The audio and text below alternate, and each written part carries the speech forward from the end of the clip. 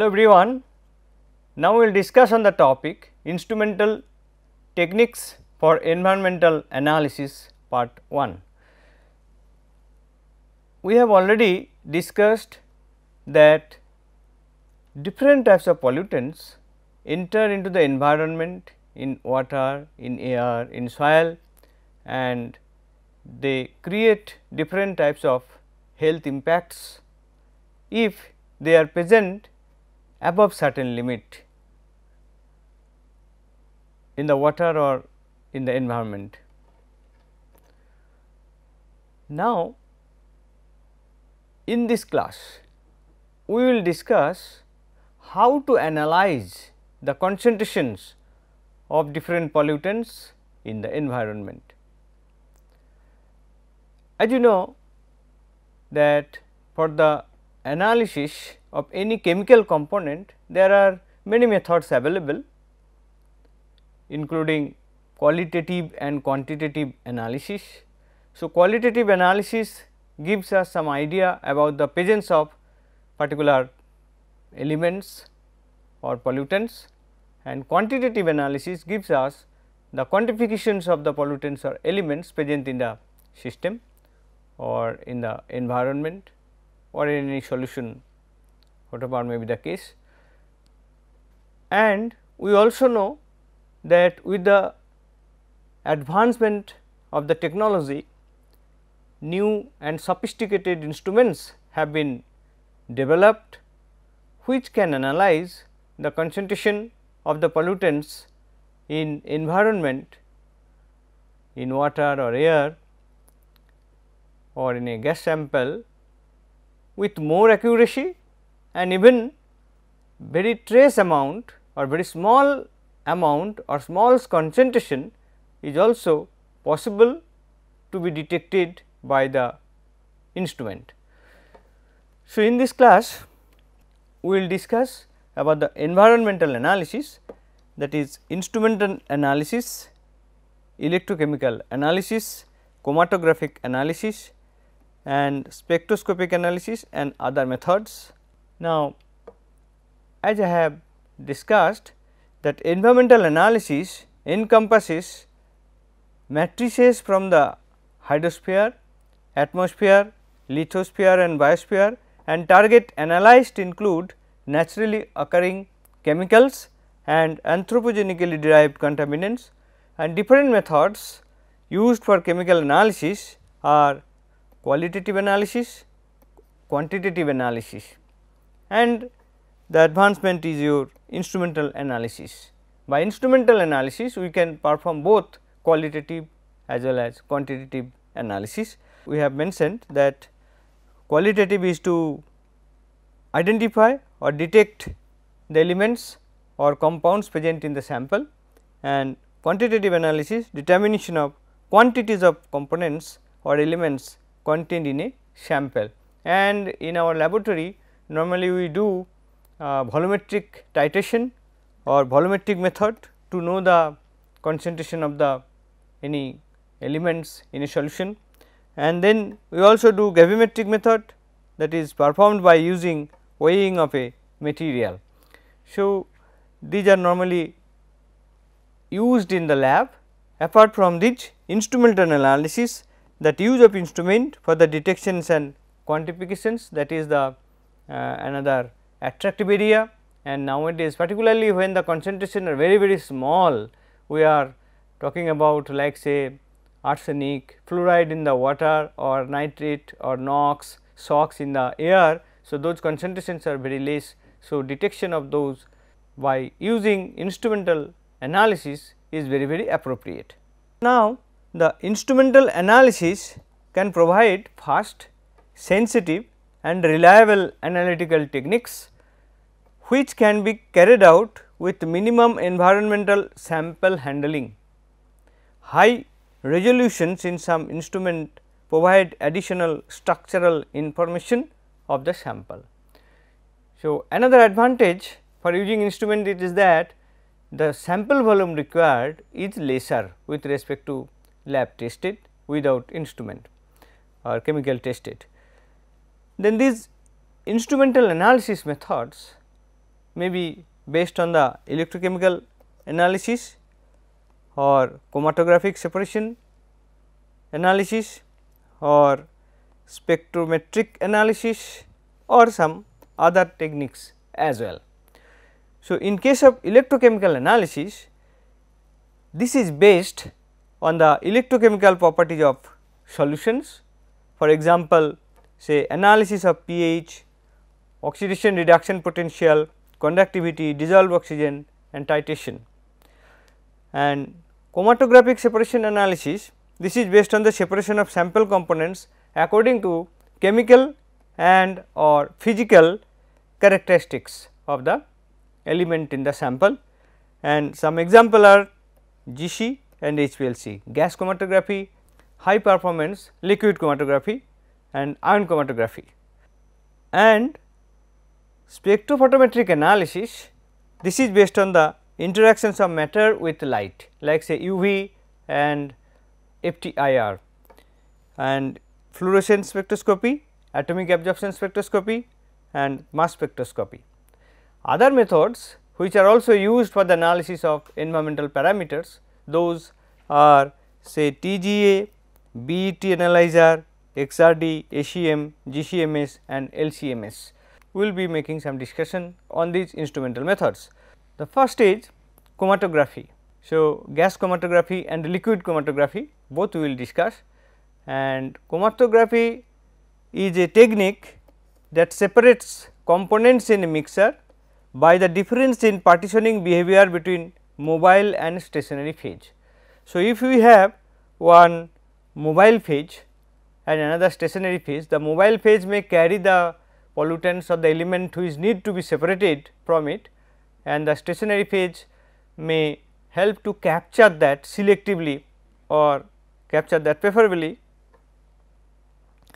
So, when the mobile phase will pass through a column where the stationary phase is available, then depending upon the interaction or affinity of the elements with the stationary phase compounds or components, the retention time will vary and we will be exploiting this property.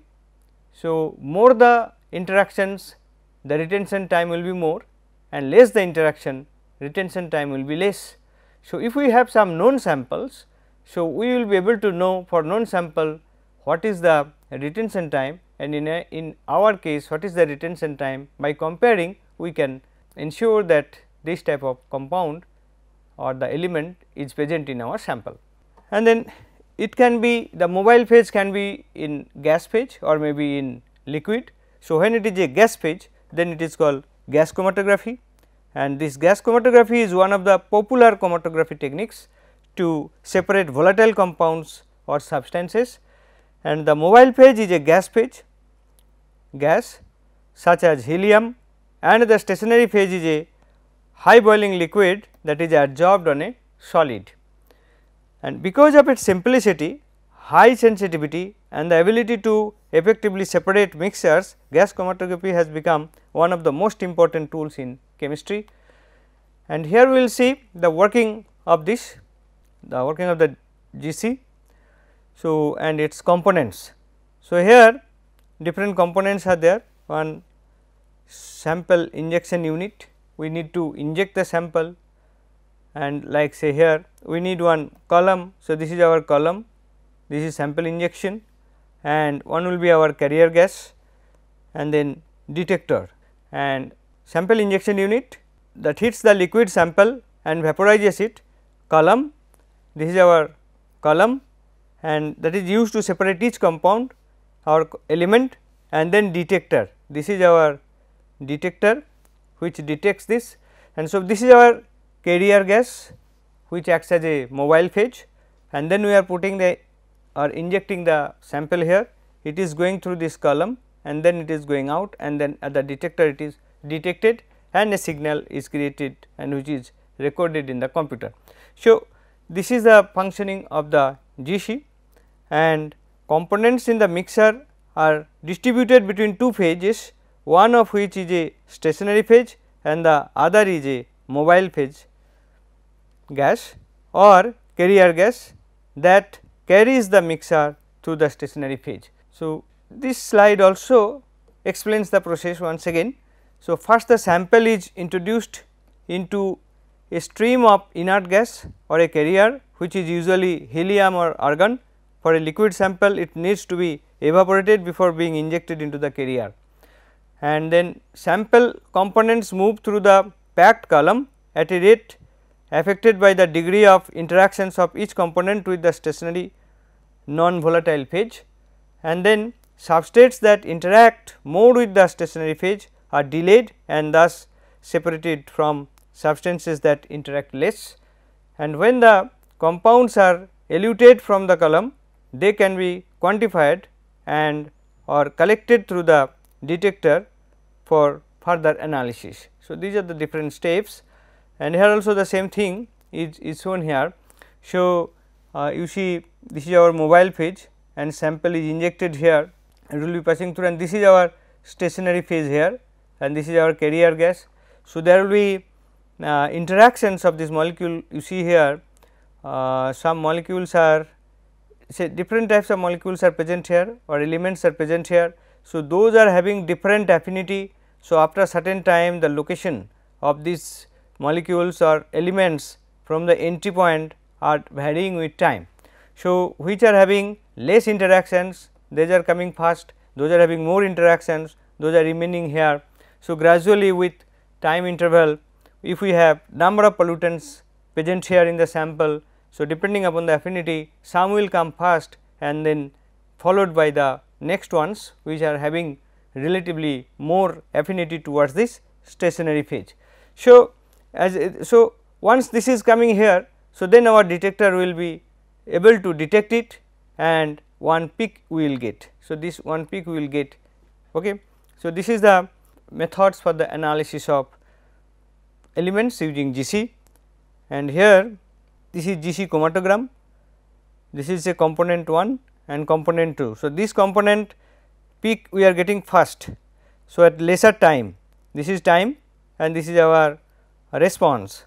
So, if it is then this is with less time it is coming out that means retention time is less. So, this compound has less interactions with the stationary phase. Now, if we use some standard samples here then if we can measure what are the time required to get the peak and we can match this time interval or if we can the residence time you can match then we can identify the possibility of the component present here with this with the known value. Okay. Similarly, if multiple components are present we can also identify the multiple components. So, this is qualitative analysis we can also do quantitative analysis by measuring the area of this peak. Now, what are the different parts of GC? We have seen that the it, it contains column, it contains detector and these are the two major component and in this column we see that GC columns may be of packed bed or capillary columns. It may be packed bed or capillary column. If it is a packed bed then relatively it is shorter and uh, it is thick columns made of glass or stainless steel tubes. Packed columns have been used since the early stages of gas chromatography, but with the advancement of the technology nowadays capillary tubes are being used. So, the currently the prevailing column type that is capillary columns produce sharp peak shapes and achieve excellent separation performance and are suited to high sensitivity analysis and optimized chromatographic separation begins with the column. Actually column is very very important for the uh, efficient separations of the pollutants or elements and as a result the performance of the instrument for analysis purpose. And how can we select the column? We can select the column, we can consider different parameters of it or very properties like say stationary phase, what is the stationary phase, what is the column length, what is the column ID and what is the film thickness. So, now we will see. So, this is our packed bed column say if it is a packed bed, so this is our tube outside is our tube and then inside is we are having say these are packing materials and in this case the internal diameter of the tube is 2 to 4 millimeter and length is 0.5 to 5 meter, support material with 0.5 to 25 percent liquid phase and liquid phase may be of multiple types. So, this is for packed bed column and for a capillary column you see this is our fused silica stainless steel that is the outside of it and then we are having one liquid layer and liquid layer and which are associated with this fused silica or silica and from this inner part the uh, the carrier gas or mobile phase will flow and there will be interaction between the components and the liquid phase here. So, in this case we will see that internal diameter is very very smaller with respect to this. This is obvious because we need more interactions with the liquid. So, that is why this diameter this diameter is very less and length is 5 to 100 meter. You see here it was 0.5 to 5 meter, but here we are having 5 to 100 meter. So, more longer coil is, is made and then material fused silica glass and it, it gives good separations and the liquid may be of multiple types depending upon the, uh, the nature of the elements present in the system. Then next part important part of GC is your detectors. So, detectors the main job is to detect the element present in it and also to uh, quantify it. So, different types of detectors used in GC are flame ionization detector, then thermal conductivity detector that is TCD and electron capture detector ECD and photoionization detector PID, flame photometric detector FPD and thermionic detector. And a new variant of FPD that is flame photometric detector is called as the pulsed flame photometric detector PFPD and atomic emission detector AED, ozone or fluorine induced chemiluminescence detectors. So, out of all those detectors except AED all produce an electrical signal that varies with the amount of analyte exiting the chromatographic column. So, they create some electrical signal and that is proportional to the concentration and the peak also we get and that area of the peak gives us the concentration of the element.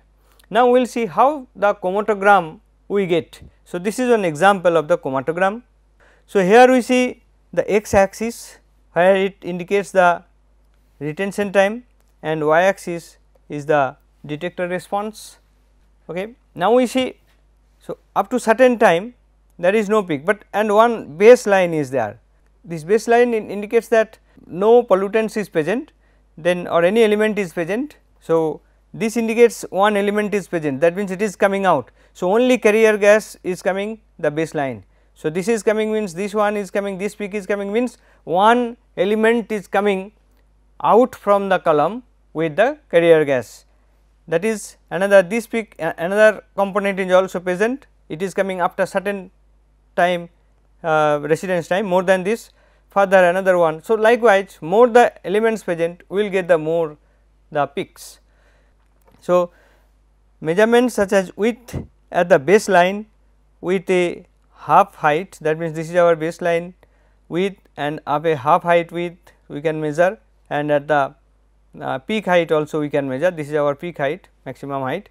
So, we can get from this and we can also get the area. So, this area is the concentrations of the particular element present in the sample and this GC has some advantage. So, high separation efficiency and analysis speed for example, gasoline samples can obtain more than 200 chromatographic peaks in 2 hours. A general sample analysis can be completed in 20 minutes and small sample consumptions and high detection sensitivity. 1 ml of gas sample consumption 0.1 microliter of liquid sample consumption, a few mg of solid sample consumption. So, proper detectors can detect impurities in the tens to few parts per million. That is ppm or even ppb level we can measure. And gas chromatography has good selectivity and can be used to analyze azeotropic mixtures and samples with closed boiling points for example, some isotopes, cis trans isomers, adjacent or inter trans isomers, optical isomers etc. and wide range of applications although mainly used to analyze gases and volatile organic substances. Under certain conditions it can also be used to analyze high boiling point substances and solid samples. And GC has some limitation also. What are those limitations? The it can only be used to analyze volatile substances. Some highly polar substances can be derived to increase their volatility for GC analysis, but the process can be complex and may introduce errors in the quantitative analysis and some issues are there. One of the major problems with gas chromatography is leakage.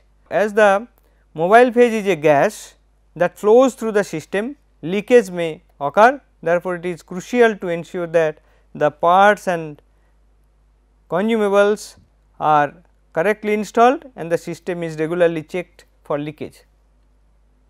Another problem is the activity for more polar analytes especially the ones that trace levels issues like irreversible adsorptions or reactant breakdown can also occur due to dirt buildup in the system and Silanol groups on the glass liners and columns. So, these are the some negative uh, points and most problems are seen on the inlet area where the sample is injected.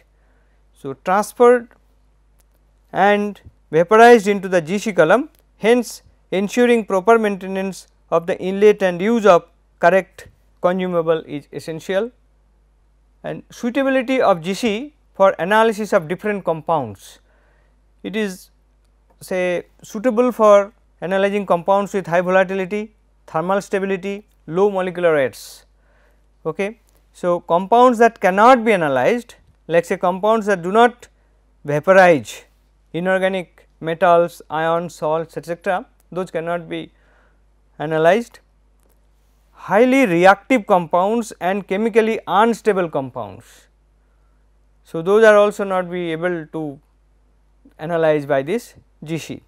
So, hydrofluoric acid and other strong acids, ozone, NOx and other highly reactive compounds for example and then compounds that are difficult to analyze like say highly adsorptive compounds and compounds for which standard samples are difficult to obtain because without standard we cannot determine this.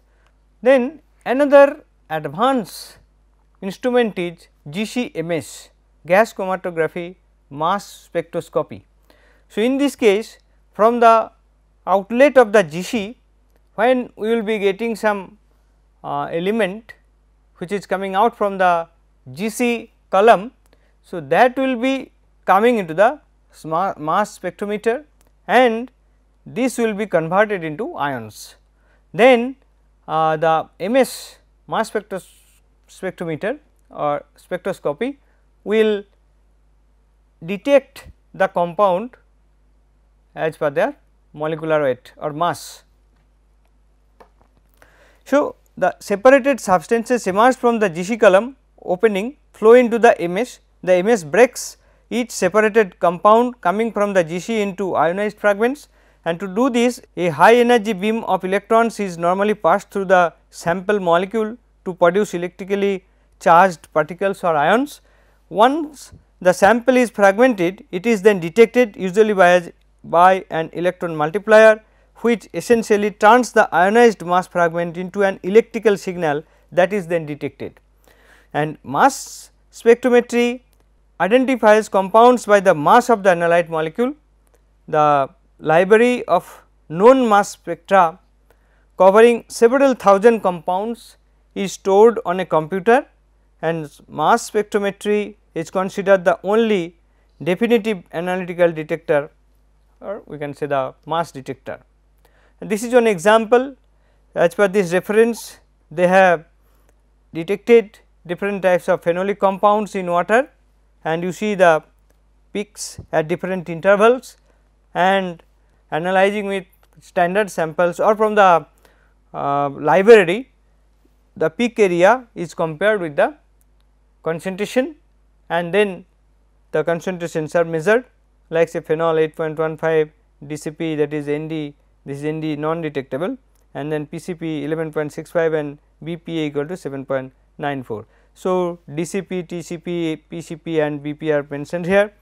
So, that way GCMS is used and now we will start discussion on the liquid chromatography and high performance liquid chromatography that is HPLC.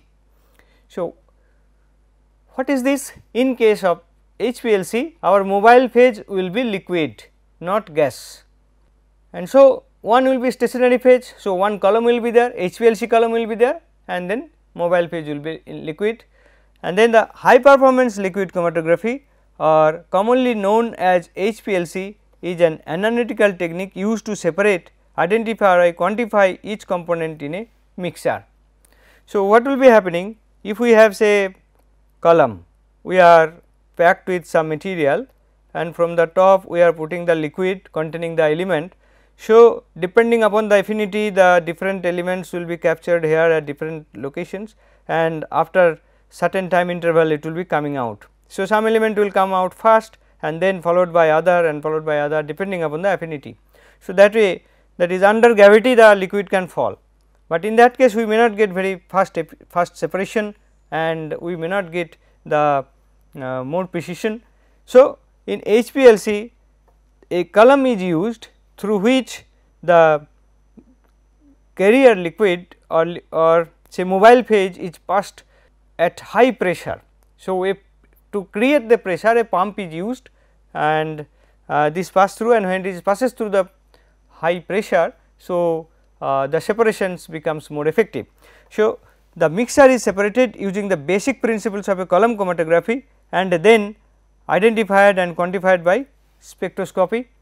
The HPLC is thus basically a highly improved form of column liquid chromatography.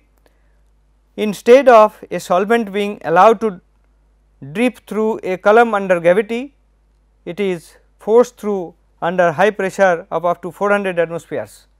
It is used for the separation of components of an organic mixture of compounds of type say non volatile compounds and then thermally unstable and have relatively high molecular weights.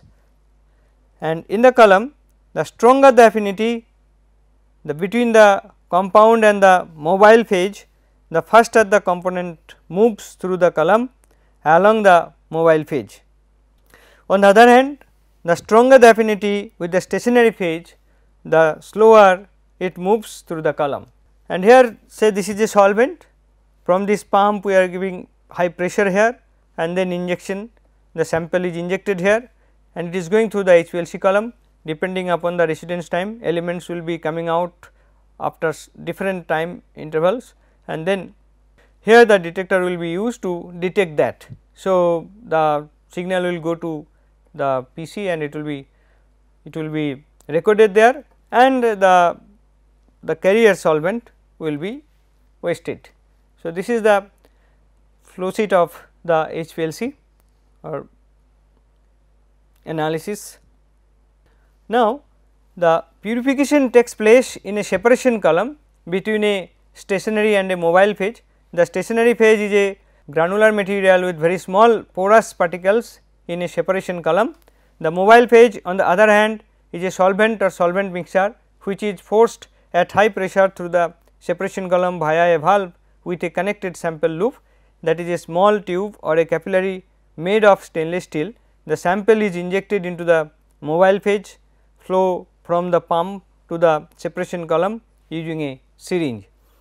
So, here also the capillary column is used and subsequently the individual components of the sample migrate through the column at different rates because they are retained to a varying degree by interactions with the stationary phase and after leaving the column the individual substances are detected by a suitable detector and passed on as a signal to the HPLC software on the computer. And at the end of this operation run a chromatogram in the HPLC software on the computer is obtained. So, this is the chromatogram just like your GC similar way. So, here also this is a baseline is there. That, means no element is coming out only the carrier uh, liquid is coming or the mobile phase is coming. And then first time some uh, signal we are getting some peak we are getting and this is our TR that is the retention time from this to this. Okay. And this is our height in the similar way to that of GC process we can get the peak also. Now type of HPLC, HPLC may be operated in normal phase, it may be reverse phase in ion exchange or size exclusion. That means how the separation is taking place, what is the principle of separation that is most important. Say in normal phase column packing is polar that is a silica and the mobile phase is non-polar. It is used for water sensitive compounds, geometric isomers, cis trans isomers and chiral compounds. Reverse phase the column packing is non-polar, the mobile phase is water plus miscible solvent. It can be used for polar, non-polar, ionizable and ionic samples. So, apart from ion exchange can also take place.